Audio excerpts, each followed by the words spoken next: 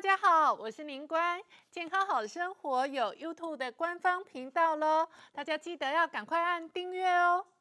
接下来，阿芳老师就要来分享健康护肝好料理。我刚刚讲，肝是人体重要的排毒跟代谢的器官哦。嗯。但天然蔬果里头有很多营养素，还有好的优质蛋白质哦，都是提供我们哦降低肝脏负担，而且帮助维持肝脏机能非常好的来源。对，像什么南瓜啊、金龟啊、那个地瓜啊这些，然后再来就是绿色蔬菜，越深绿色的蔬菜。嗯。那我觉得到冬天。很深绿色的蔬菜代表三个青花椰菜啊，对，还有再来菠菜，对，还有再来就是我今天带来的芥兰芥兰菜，芥兰菜在冬天就特别好吃，瘦的胖的都好吃。那我今天带来的是这个胖的有这个。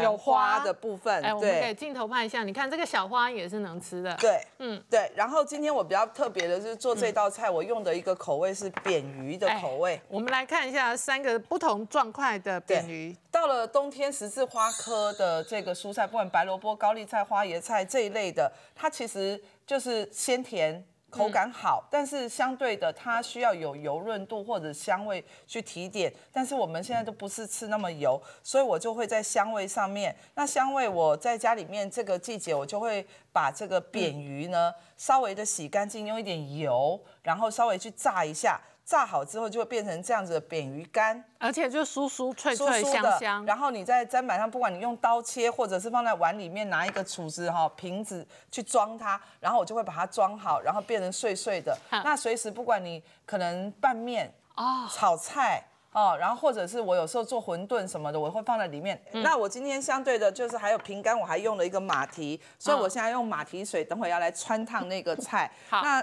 烫菜的同时呢，就是我要先把油脂呃放一点下来，好，帮助该有脂就是油脂来帮助吸收的这个菜色呢，就稍微的先炒一下油。我们的锅热油现在爆的是蒜头跟葱段。对。因为呢，我等会要烫菜嘛，哈，那那个菜啊，如果我烫，就算水里面放了油，嗯，去烫菜，那那个油也会被。菜给先吸走，对，我的最需要的是像这一类黄色蔬菜，它需要有油脂的带动，所以我这在比谁都快的时候，先来炒一下，炒一下油，然后我们再来放水。哦，所以现在玉米笋入我们的铸铁锅，其实那个让它裹上一点点油，对对，那一方面也是帮助加快烹调，另外也增加它营养素吸收。对，然后现在我就把这个水呢，等会准备要烫熟我们菜的这个水。给放进来，好，哦，是这样子才来烫这一个菜哦。对，就等于我这个菜水，我到时候我来烩菜。对，好，然后呢，同时今天比较特别的是，我就是在。天冷的季节，我们还是都会吃的比较燥热，对对。所以我在我的菜里面也加了一些这个食物的平衡概念，我放了马蹄片，对，它有脆口的效果。啊，你连它的汤水下去，它的汤水有的时候是很甜的。对，就是它切完，我削皮我自己削好，切片，然后就直接，呃，我马蹄我不太买那个削现成的，嗯，啊，因为它其实还是会氧化。那你看菜市场一颗一颗又白又大。呃，所以我基本上我会带买带皮的，就自己削。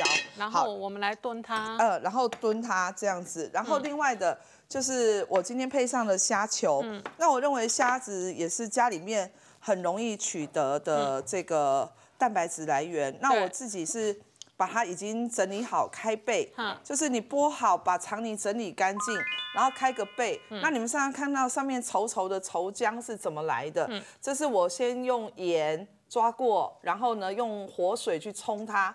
那盐会让蛋白质，就是虾子它是蛋白质，它会变硬，嗯，会变结实，嗯。然后呢，我再去冲水，它就会有大量的吸水的效果，就反而就膨胀它的组织。好，这个就是取代以前用硼砂，对，人家用硼砂去洗，就是用重盐在活水去洗，然后擦干水分之后，用蛋白。嗯，去打抛就是抓一抓，然后放一点粉，就这样子。好，那这样子就可以做出好吃的虾球口感。好，好，那我们呃不用炸的，不用过油，我就直接会炒。好，所以我们热锅热油，待会要来炒它。对。然后因为它也熟得快，所以其实你另外一锅炖那个菜。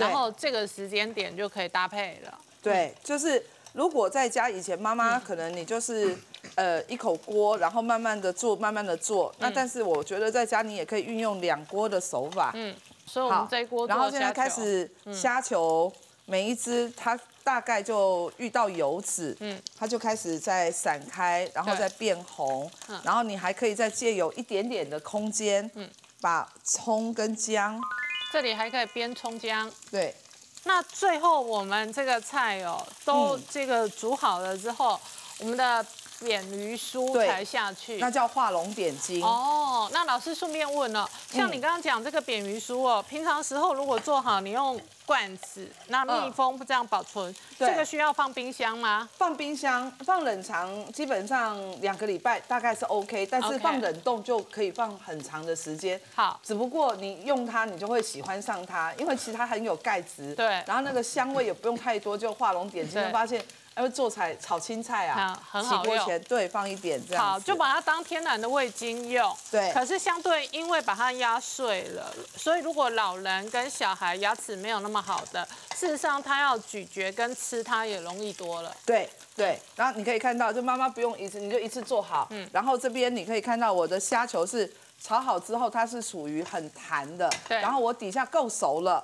妈妈，你不要火一直等到你都觉得哦熟了再来关，你可以利用余温，然后就让它这样煨着。好好好。然后现在接下来我们的这个锅子马蹄水，好，这时候它这个汤啊，嗯很你喝起来它是甜的。对然后我现在这里面先做调味，嗯，一点点的鱼露。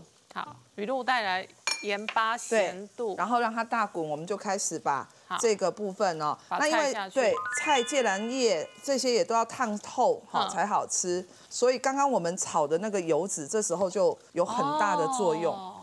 其实这一类的菜，它没有一点点油的话，它会觉得很就刮嗯，就很刮，对。我要让它盖锅，再嗯煮一分钟，好。然后我刚好利用这个时间呢、我可以调一点点的太白粉水，等会来打这个芡水。同时，我们老师哦，这个焖煮的菜哦，好漂亮，已已经焖透了，。对，嗯。嗯，那这时候我们就很薄薄的一层芡，让我们等会呢，那个鲜扁鱼的的滋味挂得上去。扁鱼的那个香味哈，它会不会被水掉？对，好，我们先打的是薄薄的芡，对，然后我打完薄芡之后啊，嗯等会上菜的时候，我这些羹水是不会捞上来的。哦，就就是那些水太水。对对对它是所以不会捞的时候捞菜再撒扁鱼对，对对，然后再放上我们的虾球。来，现在这样子已经好了，哦它已经欠水对是沸腾度，然后不是太太浓，只是它有一点厚度这样子。好，然后就把我们的葱油、虾球虾球下来，就把它翻进来，然后捞上去再撒扁鱼。对，然后上来之后，最后再把这个扁鱼就这样子好，撒上来，它的香味就会很高。好，那我们就来试吃哦。他把那个芥菜的，尤其是那个菜心啊，煮的就很脆，小朋友最喜欢那个脆脆的，而且加上虾球，就是整个咬起来是很有口感的。这样，而且我们中医说，其实这个呃绿色的蔬菜，像芥菜，它其实也养肝哦，跟我们今天讲的那个主题护肝其实是很有帮忙的。嗯，加上加上刚才那个阿芳老师那个扁鱼的，真的是画龙点睛，真的完全都不苦，所以嗯、呃，这是一个很好的料理，很赞。就是刚才那个，就是三位前辈们都提到，现在脂肪肝啊，其实事实上三个成人就会有一个。